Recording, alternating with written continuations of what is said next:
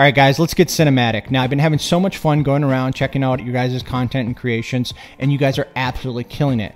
But you are not doing your pieces justice because your videography and photo- photography skills are lacking a little bit. Now, I know that scares a lot of you when I say that, and you think that you need to go and buy some $10,000 piece of equipment to capture what you are creating, but you don't. You guys have your phones, and there's enough technology in your phones to create some awesome shots.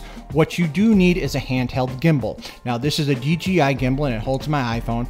And what this does basically is it makes for smooth videography. So it makes for smooth, clean movement. Okay. So as I'm walking around something, it takes out all the shakiness. Now, this is the only setup that you need for your shop. You need your phone and you need a gimbal. After that, you're going to have some very professional looking videos.